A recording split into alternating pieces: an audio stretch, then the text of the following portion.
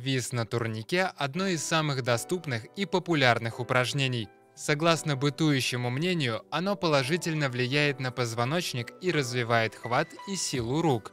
К тому же многие уверены, что регулярные занятия на перекладине способны сделать человека немного выше. В этом видео мы расскажем о том, что произойдет с телом, если висеть на турнике каждый день.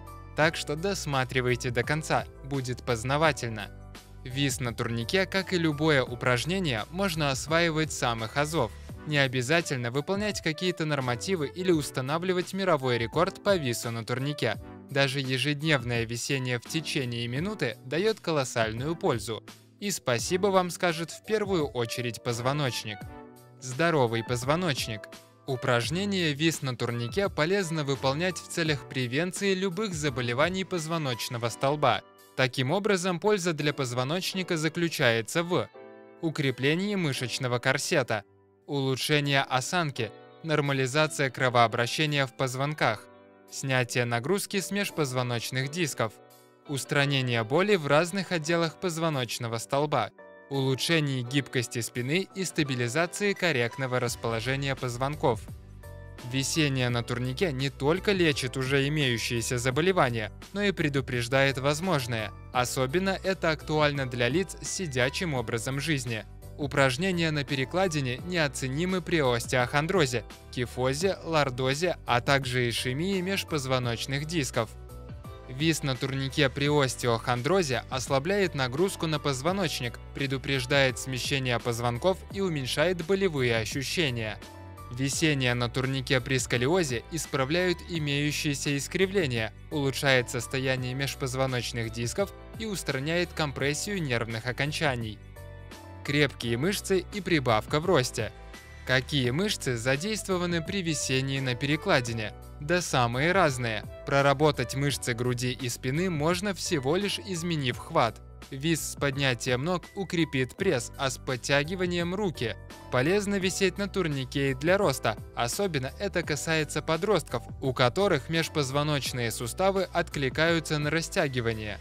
Минутное висение на перекладине также способно бороться с нарушениями в обмене веществ, работе центральной нервной системы и опорно-двигательного аппарата, Висение на перекладине может стать отличным мониторингом вашего общего физического состояния. К примеру, если вы висите на время, то недостижение своего собственного результата может говорить о каких-то проблемах. Что произойдет, если каждый день висеть на турнике вниз головой? Надоело висеть привычным образом? Пора осваивать висение вниз головой на турнике.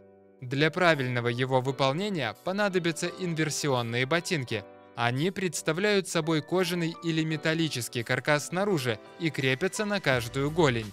В середине ботинки имеют плотный поролон, также они оснащены крюком, которым необходимо цепляться за перекладину. Для выполнения элемента необходимо прижать руки к груди или вытянуть их вниз и максимально расслабить позвоночник. Новичку висеть так можно не более 20 секунд, но даже за это время можно получить огромную пользу, заключающуюся в снятие болевых ощущений в грудном и шейном отделах, улучшение кровообращения, повышение умственной работы, расслабление мышечных тканей, разгрузки и выпрямление позвоночного столба. В дальнейшем время выполнения упражнения можно увеличивать. Если обычный вис и висение вниз головой уже наскучили и стали казаться легкими, можно добавить дополнительные упражнения. Их можно подразделить на элементы с подъемом ног и элементы с разной постановкой рук. Подъем ног и колен. Поднимание ног представляет собой скручивание позвоночного столба со сгибанием в тазобедренном суставе. Зачастую добавляется сгибание и в коленном суставе. Главная цель такого упражнения – проработка прямой мышцы живота. При втягивании живота в работу включаются поперечные мышцы живота, а при ротации наверху от плеча к плечу – косые.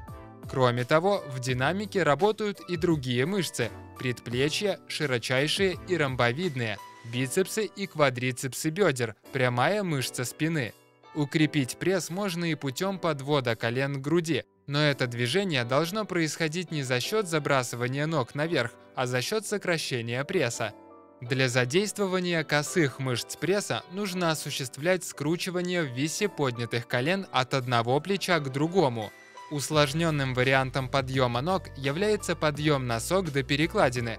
В этом случае сначала нужно довести таз к ребрам за счет силы пресса, а затем довести носки до перекладины путем вращения плечами. Еще один усложненный вариант для продвинутых – вис на одной руке. Освоить элемент можно ради спортивного интереса, а вот для акробатов или скалолазов упражнение является необходимым элементом. Также такая тренировка способна увеличить силу рук до нереальных показателей. Обычное висение на перекладине несет такую же пользу, как подтягивание на турнике, брусьях или кольцах.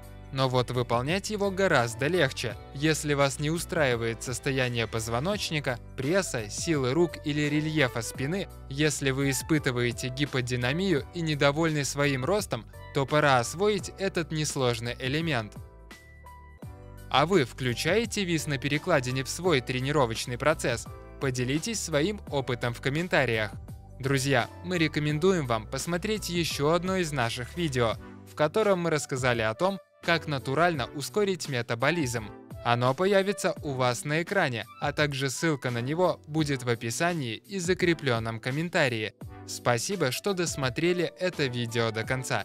Если было интересно, ставьте лайк и подписывайтесь на канал. Дальше будет еще много полезной информации. До новых встреч!